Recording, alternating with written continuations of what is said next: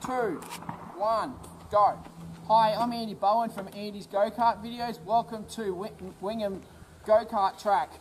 Uh, I'm going out to do some testing, uh, testing on Wingham um, Go-Kart Track. This is one of my biggest dreams and one of my, I've always wanted to do. I'm going out to have a, an absolute ball.